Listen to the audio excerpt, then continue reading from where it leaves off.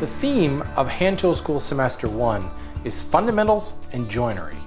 It assumes very little and it's the perfect starting point for the beginning woodworker or a great place for the woodworker with a power tool background who wants to expand into the dark arts of hand tools.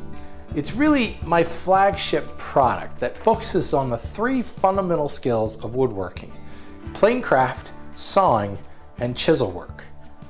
And I accomplished this with a mixture of lessons, applied projects, and a final project.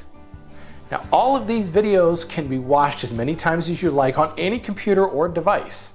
They can even be downloaded and watched offline if you purchase the download option.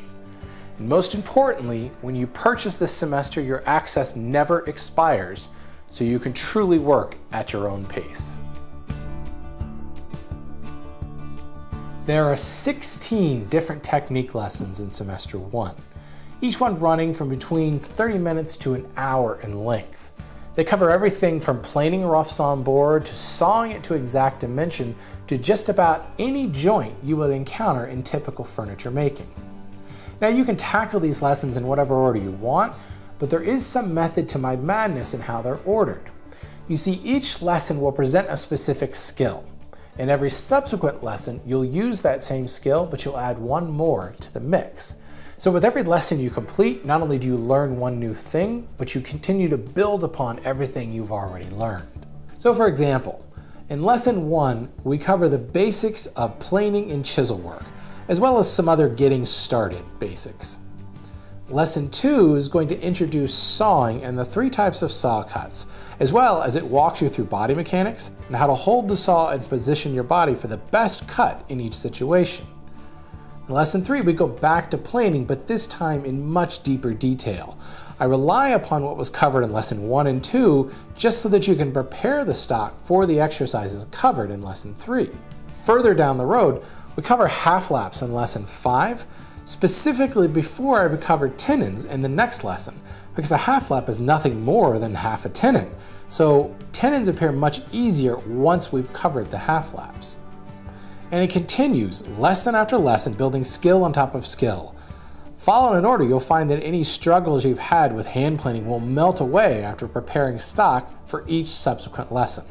Likewise, your sawing skills will blossom for the same reason.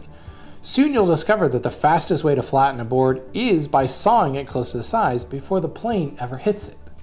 The key is applying each of these skills in the context of the next lesson that truly cements the knowledge and builds the muscle memory. But new skills aren't truly formed until you've used them in the context of a project. And that's where our applied projects truly hit it out of the park. There are 13 applied projects in semester one, and each of these projects is specifically designed to highlight whatever skill is being taught in its respective lesson. Moreover, these are things that you would want to build anyway for your hand tool shop, so it's a double reward. Not only do you end up with something very functional for your wood shop, but you're building skill while building the project. For instance, Lesson 2's applied project is a saw bench. Now there are many ways to build a saw bench, but fresh from discussing the three types of saw cuts and how to execute them, we built this bench that only requires you to make those three types of cuts. I built this using home center lumber so there's no additional planing or joinery to get in the way and confuse the issue. Just sawing straight and square. Now the really cool part is that the saw bench once completed will actually help you to improve your sawing by positioning your body properly for the best mechanics. Like I said, these applied projects are things you'd want to build anyway. It continues on and on through the rest of the semester projects. A square using only half laps. A sawhorse using three kinds of mortise and tenons. A sawtill full of dovetails. And on and on and on. Now as you make these projects, building all your skills along the way, Suddenly you'll discover that you've built yourself a functioning hand tool shop, complete with all the tools and bench appliances you need to build that next big project on your bucket list. Something like, say, maybe a tool cabinet? So won't it be so cool when after you've learned about all the fundamentals of plane craft and sawing and chisel work and applied it on a variety of bench appliances and shop aids, that you take all those shop aids, all of those tools, and all of those experiences and sink them into building this tool cabinet. You'll break down rough stock with your saws and saw bench, then mill up and glue together case panels and dovetail them together. You use sliding dovetails for the drawer blades and dados for the runners and internal dividers. You'll leverage your experience with miters, grooves, half laps, and dovetails to make clamshell doors that look great but also keep your most used tools right where you need them the most. You'll make dovetail drawers with veneered fronts and use mortise and tenon to craft a bomb-proofed French cleat to hang the whole cabinet. Literally Every technique and tool that we build and discuss in this semester gets used to build this tool cabinet. It's truly a final project, the culmination of everything we've talked about.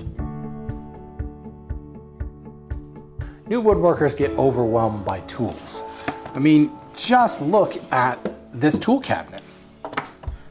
Don't think you even need a quarter of the tools you see here. If you look at the semester one tool list, you'll see a compact yet comprehensive list of tools that will allow you to build so much stuff. And these are the tools that I stick with when I build all the projects in semester one.